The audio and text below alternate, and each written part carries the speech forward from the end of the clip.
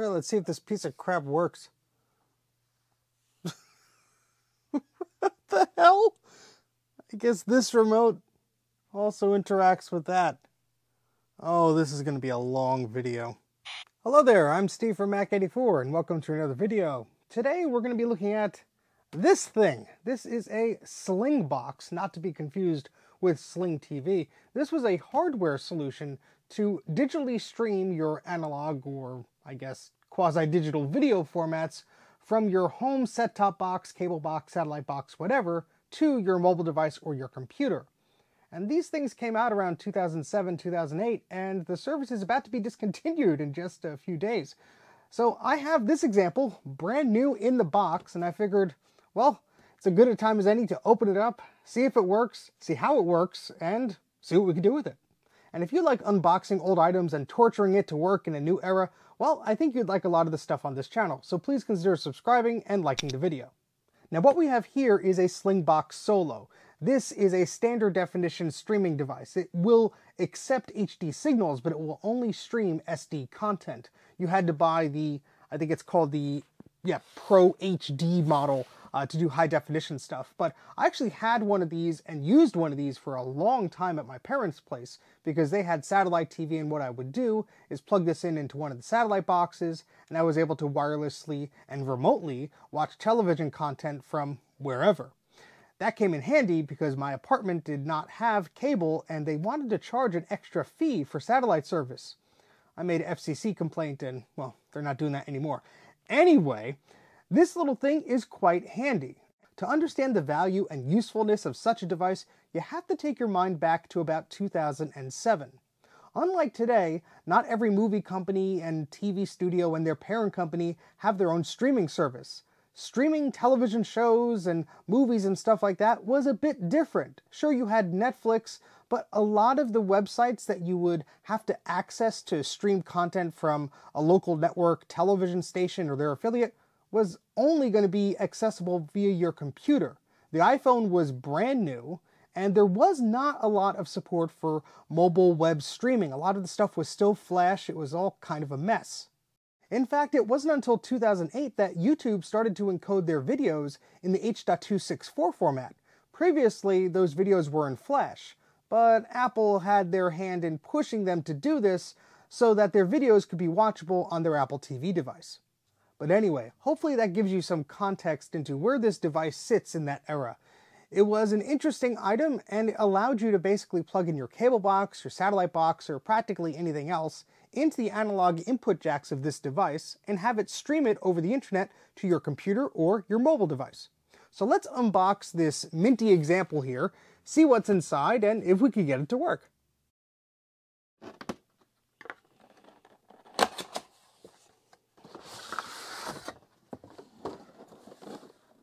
Very nice. All right, so it says, congratulations, you are just moments away from watching your TV anywhere. Cool. And we have a quick start guide, which we'll take a look at in a moment. And we have some packaged items. I remember this from the one I had back in the day. So this looks to be the unit itself. We have uh, some AV cords and maybe a network cable. And some, well, this is a power cord. All right, well, let's unwrap them. Okay, we have a power adapter here. This is an AC adapter that's 5 volts, 4 amps, and center positive. And we have a little label on here that is basically telling us what models it's compatible with. The Solo, the Sling Catcher, and the Pro HD. Okay, so we have an Ethernet cable for connecting the Slingbox to our network. We have a pair of cables to give us standard definition video and stereo audio from our satellite or cable box to our Slingbox device.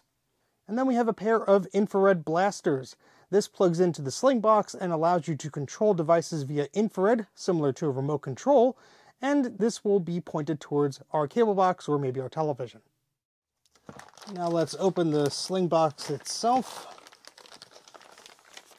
All right. There it is. So this is the Slingbox Solo. You can see the inputs on the back, and we'll explore that a little bit closer in a bit. Okay, so we have everything unpacked. Let's take a look at this quick start guide. Alrighty, well, we have some steps to follow. So it tells you what's in the box, which is always nice. Make sure you're not missing anything. Uh, it's telling you to connect it to your cable box, so you could use either the composite cables that come with it, or if you have component, you could plug those in, but we're just going to deal with standard definition for today. Um, it's just talking about different connections here. It's talking about plugging in that infrared blaster here. And let's see, connecting it to your network. All right. And then just plugging in the power. So simple enough. I think we could follow those directions. I have this dusty old little Vizio TV that we're going to be using for our demonstration here today. But we also need something to plug into the Slingbox. And I have this old cable box. I'm 99% sure this will not do anything for us today, but might as well plug it in, and if not, well, we can just pretend. Okay, so we're going to use the AV cables that came with it to plug our Slingbox into something else like this little cable box. And then we'll need another set of cables to plug into that and uh, plug it into our television. Although technically this thing could run headless. You don't need it plugged into your TV if everything's set up correctly. So I'm going to plug these in into the input here. So that's the white, red, and yellow cables up top. And then I have a set of cables already plugged into the back of the TV. This will be the output. So we're going to plug those in. And this is the component cables. If you wanted to instead uh, plug those in. We also have S-Video uh, from your cable box or satellite box or out to your television. You could do so as well. There's a little jack for that infrared receiver. I'm not sure if you could see it in front of my fingers. Uh, we also have a USB port.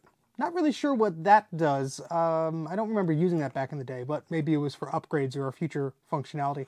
We do have a network port for our Ethernet cable, and there's the power jack and a reset button. So I guess we should get everything else untangled here. Good thing I always have Ethernet cable just hanging around off camera here. So we're gonna plug that in. It's nice that they had that with the little plastic prong facing up because sometimes it's the opposite way around and trying to undo that cable is a nightmare. All right, and we just need power. I guess we'll get everything else sorted. Now again, I doubt this cable box is gonna be happy for us, but we're just gonna plug it in just to demonstrate how you would plug this into your cable or satellite box back in the day. All right, and then we just have our power cable. I'm gonna plug that into the Slingbox. Oh, I almost forgot. We have some plastic on here.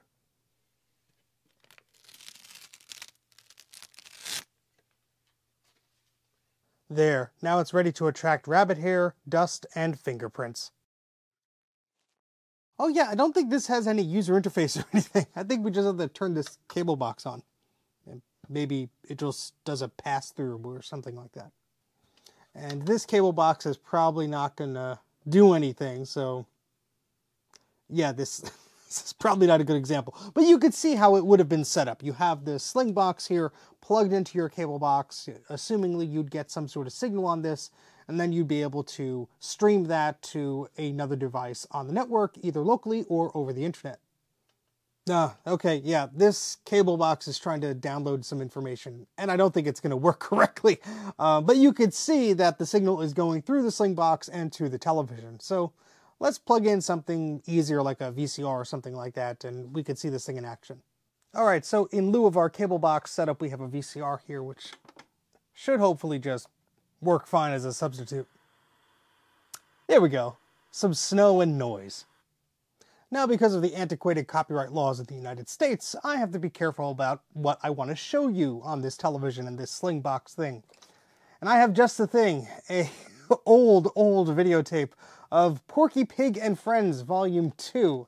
And uh, yeah, this first cartoon is supposed to be in the public domain, and this tape is from 1987. And yeah, I'm not going to be playing any audio, but anyway, let's just see how this thing works.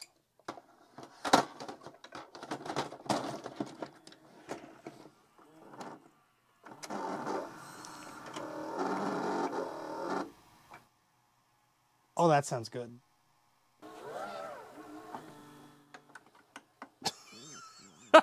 What's going on here? I don't think it likes this tape. stop button broke. Ah, jeez. Now, for those of you who are too young to understand what a VCR is, it's basically a videotape player. Similar to a DVD player, but it uses analog tapes instead of a digital disc. And it loves to eat tapes. Let's open this thing up.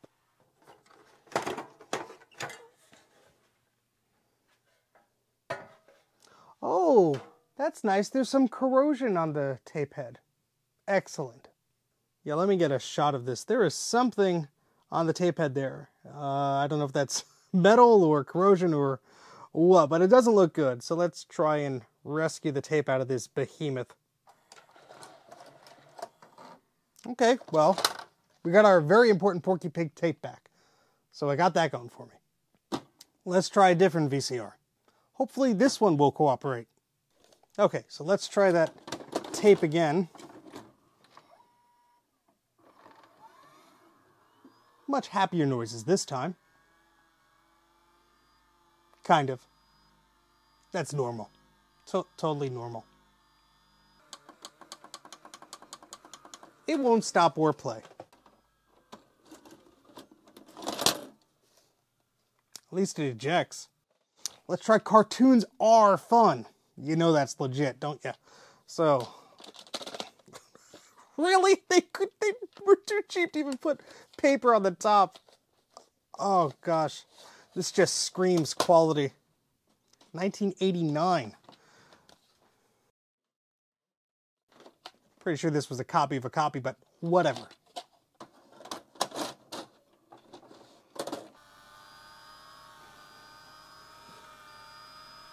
Nope. Now this is not a VCR. This is a Laserdisc player. Well, more than that, it's a Laserdisc and DVD player. But we're going to output some video image out of this, hopefully, and uh, continue with our demonstration. Of course, I picked the one Laserdisc player in the house that doesn't want to turn on. Okay, let's try that again. Hey, this one does work. Excellent. Okay, so now we have something that would work. This is a Laserdisc player, this is a Slingbox. They were never really meant to go together, but we're just going to pretend here to get some sort of video signal to this so we can continue on with this crazy demonstration. Now I do have to be careful of what I play, and I have this lovely example, which is very fitting. This is a teaching, learning, and technology planning guide that Apple put out. Pretty sure this is not going to hit any matches because I have yet to digitize it. So let's eject this thing and we'll have the sound off just play it safe. But yeah, laser discs are pretty damn cool. Uh, they contain analog video and sometimes digital audio signals. And hopefully this will play just fine. It would help if I plugged the damn thing in. Here we go. We have a signal playing on our lovely little TV here.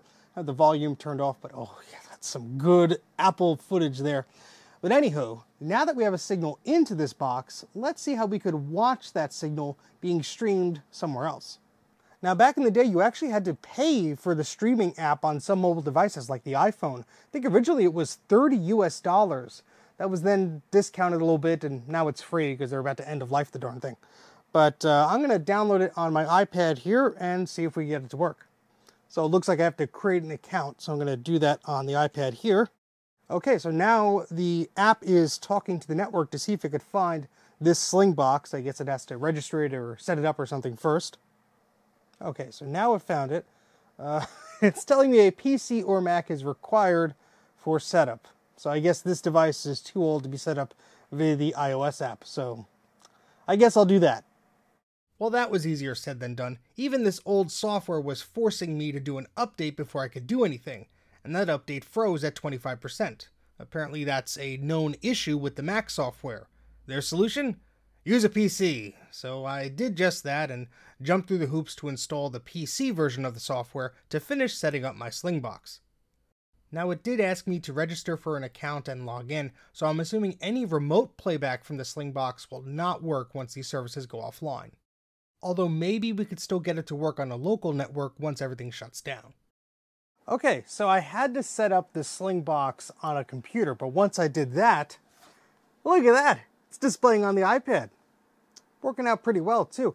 I also have that remote, which is kind of cool, so hopefully that's in focus. My apologies if it's not. Um, but that lets me pause. So if I do that, it should pause the video. Not coming up, oh, there it goes. Still frame. Uh, and if I press play, it resumes the video. So that's again working via these little IR blaster cable thingies. These enable the Slingbox to send a command to an infrared controlled device. This is really cool to get working again. I mean, I haven't used one of these in ages. You have to remember back in 2007 or 2008 or around that time, there weren't a lot of streaming services like there are today. Every company seems to have one. And back then, a lot of the stuff was only on a website via Flash, and you could only get clips of shows. You couldn't watch the whole thing. So this really allowed you to not be tethered to what those companies would give you. You could just watch anywhere, anytime, whatever was on your cable box or your satellite box. Again, this didn't record or anything like that. You would have to use your DVR or PVR to record shows and you could control with the remote your recorded list and stuff like that. But this was just basically playback, but you controlled what played back. I remember using this on a web browser back in the day, and I think there was even some software for the Mac that I used I think I used it on the iPad once or twice, but I was primarily watching it on the computer. Again, this is standard definition, so it didn't look the best, but really, there wasn't much of a choice otherwise. It was either this or nothing. Unlike today, you could hop on YouTube or other services and catch a show or catch up on a movie you may have missed, but I took what I could get, and uh, this device was very handy when I didn't have television service in my home. I am curious about the system requirements. This box uh, does state that it's a universal application, meaning it will work on PowerPC Macintoshes and Intel-based Macs. And we have some PC requirements of a Windows Vista or XP with Service Pack 2, a Pentium 3 1.3 gigahertz processor, etc. And the Mac minimum requirements are a PowerPC G4 G5 800 megahertz or an Intel processor, and that requires macOS 10 10.3.9 or later, so that is Panther. So let's see if we can dig up a Mac that meets those requirements. Oh boy, we're running out of space on this desk. This is an iMac G5. This is actually my brother's old iMac G5. Thank you, Dan. And uh, we're gonna see if that Slingbox software wants to work on this machine. All right, so we have an iMac G5 here. This is a 2 gigahertz iMac G5 with gigabyte memory, and this is running macOS 10 Leopard. That's 10.5. So I'm going to quit the application here just to show you how it works. Uh, I'm running version 1.0.10 of the Sling Player app, and it should just connect here. Yep, there it goes. You can see that uh, we have our display of whatever the Laserdisc player is playing. So let me press play here. And there's a, about a five to seven second delay of whatever the Slingbox is getting to, to this device here. And that's not bad at all, really. I mean, you'd get a bit of a longer delay if you were doing this over cellular or whatnot, but this is a local network, so the latency is actually pretty good. You can see here we have the remote control layout just like we did on the iPad, so if I press pause here, that should send a signal to the Laserdisc player and it pauses the video. But that's just really neat. I mean, it's such a shame that this stuff is just going to be killed and discontinued sometime soon because, you know, it works. I mean, we pulled this thing out of the box. It's brand new. It, it hasn't even been on for a few hours and it's doing a great job of taking standard definition video and streaming it over the network and it works with this software on this this G5 Mac. I mean, it'll even work on a G4 apparently. And uh, yeah, I mean that's kind of sucky. but I guess that's just the way things are because a lot of stuff relies on servers and special versions of apps and stuff like that. And yeah, I mean, the software for this was a little bit difficult to find. And although the apps for the iPad and the iPhone for the Slingbox are still in the App Store, I'm pretty sure those will be pulled sometime soon. I'm actually surprised that there are 64 bit apps, so they actually run on the iPad uh, and they weren't discontinued long ago. But yeah, it's just one of those things that makes you kind of sad because you won't be able to play around with this stuff in a while. I have fond memories of using this thing back in the day to watch TV in my apartment and such, and yeah, it's sort of a trip down memory lane revisiting this thing. Sure, the video quality wasn't perfect, it was still standard definition, but back then that was perfectly fine for me. But yeah, about the iOS apps for the iPhone for the Slingbox stuff, I'm pretty sure it was like $30 back in the day. It was pretty pricey. And I know my brother bought the app because he used the Slingbox for watching sports and stuff like that. So it was pretty important to him.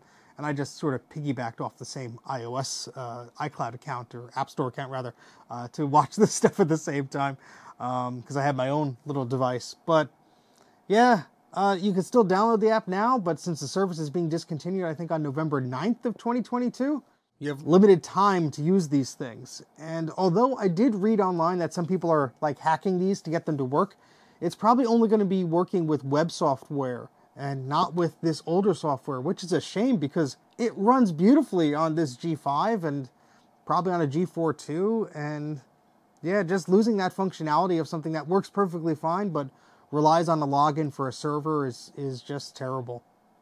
Yeah, I mean, this must be a newer box because it's saying now you could watch on your iPhone because I believe this came out in late 2007. The App Store didn't come out until mid 2008. So you didn't even have downloadable apps on the iPhone until after this product came out. So this must be a, a later printing of the box. Besides the iPhone, it looks like there's support for other mobile devices there. It has a picture of a mobile phone that's very antiquated looking. Oh, on the box it actually says Palm OS and Symbian. Look at that. Oh, that'd be so cool to get this working on a Palm Pilot. Ooh, do I have one that'll work with this? I found some devices here. Hopefully one of them will work. Uh, and I guess I need to find a charger for some of them. We have a uh, Palm Tungsten W, a TX, a Life Drive. Oh, oh, this is a Treo, but it's actually a Windows one. Um, so that probably won't work. But uh, yeah, let me get a power cable. Okay, so this is the Palm Life Drive. It actually has a hard drive in there, which is pretty neat. Had this working not too long ago, but although it's charging, it doesn't seem to be turning on. So I think the battery is too flat for it to want to do anything, or it needs to charge up for a while. Now, thankfully, this Palm TX model uses the same power cord, so let's see if that'll work. Hey, look at that! it actually works. Awesome. So now we need to get the software onto this thing. Okay, that software was pretty difficult to find. I had to go through the Internet Archive and there were a lot of dead links. There was a link to the beta software, but then it, at some point it became paid software. But um, I do have it on this SD card, so I think we should just be able to install it from here. And uh, let me get a close up somehow. Maybe I'll record with my phone and we'll see if this works. So let's try and install it and see if it'll work on this particular Palm Pilot. It does not list this model as being compatible, but we'll see. Yeah, there we go. sure. Oh, you had to pay for it. surprise, surprise.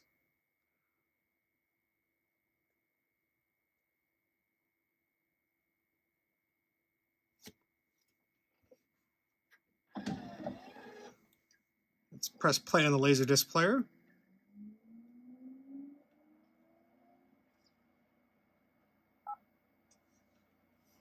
Register later. really?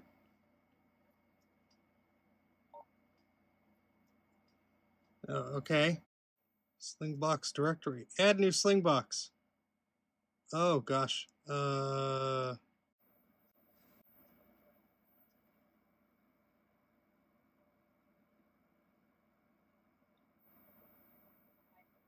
Holy crap, it works! this is crazy! This is on a freaking Palm Pilot! The quality's not bad either! My goodness! That's great! That's pretty darn smooth for a friggin' Palm Pilot. This is a Palm TX. It's not exactly the top of the line model, I don't think, but look at that. All right, let's see what we could do. We can pause.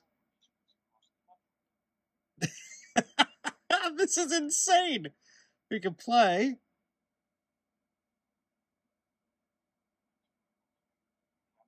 It's struggling a little bit. Come on. There we go. This is pretty damn cool.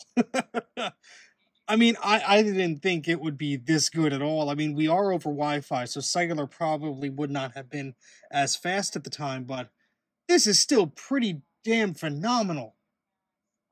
I'm glad I got this working before this service shut down because, I mean, oh, look at that. Oh, that's so cool. I'm just totally geeking out right now. This is so neat. Uh, let's see what other settings we have. Remote control, video input. So yeah, I could change that if I wanted to. Uh, remote control, general playback navigation, custom, player mode. So we do audio only if we wanted to. Uh, settings, that gives us our audio settings and the ability to show stats. Display mode, normal or letterboxed. Okay, so this is normal right now, but if we were displaying or I guess, broadcasting something that did have a different aspect ratio. We can say letterboxed. Well, there it goes. And it's squishing that, so we're going to turn that off. There, that looks better. And then we have about. Yes, this is version 1.0.0.17 from 2007. That is so freaking cool. Just look at that. Look look how well that plays back. I mean, considering the technology involved. I mean, I'm I'm really impressed with this thing. Don't get me wrong, it was a little bit uh, convoluted to get going, especially because we had to put the software on here and finding the software is a pain and to get a 802.11b Wi-Fi compatible signal, I had to share the Ethernet connection from this Mac. Thankfully, Mac OS 10's internet sharing option makes that easy, but yeah, still, I'm very surprised and pleased by the results. Well, nothing lasts forever, unfortunately, and this service will be discontinued on November 9th, 2022, which, as of the recording of this video, is just in a few days. And that stinks, but you know what? Um, we got to play around with it while it lasted, I guess. I mean, I even found another one of these things while I was looking around for these Palm Pilots in the basement. So it's like this hardware will just stopped working, which is nuts because it's working so well now. I mean, yeah, it's standard definition and all that stuff, but you know, it works and it's kind of cool. And I'm a big AV geek. I love this stuff. Now, I do have some good news. I was lamenting about all this stuff being inaccessible and going away completely, and well, that's not actually true. You see, I posted a teaser picture of this while I was filming on Twitter, and it turns out Clint of LGR is also playing around with these things, and his is an older model which seems to work just fine without an internet connection, just over a local network disconnected from the internet. So that got me thinking, I wonder if this works the same way. And actually, you can manually add a Slingbox on the network. It's not entirely happy about it. It seems to be hit or miss. You have to have uh, content actually being fed into this. Otherwise, the box will go to sleep and you won't see the IP address on your network and all sorts of fun things. But this is actually playing back now over the local network, and I actually got the Palm Pilot to do the same. So I think depending on the version of the software and the firmware on the box, it could still be possible to use these things after they shut down the service. Well, there you have it, the Slingbox. A pretty interesting piece of kit for back in the day, and something I'm glad we got to play around with one last time. If you like these sorts of videos, please consider subscribing to the channel, and don't forget to like the video as well. If you want to follow me on Instagram and Twitter, my handle is Mac84TV.